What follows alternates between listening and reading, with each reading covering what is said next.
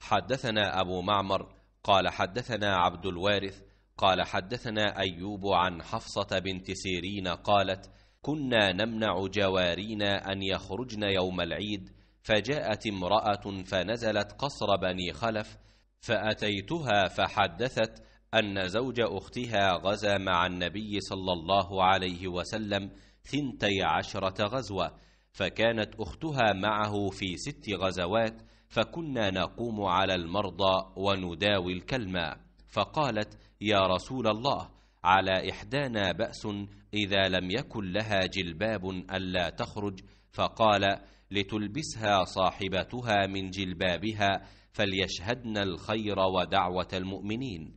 قالت حفصة فلما قدمت أم عطية أتيتها فسألتها أسمعت في كذا وكذا؟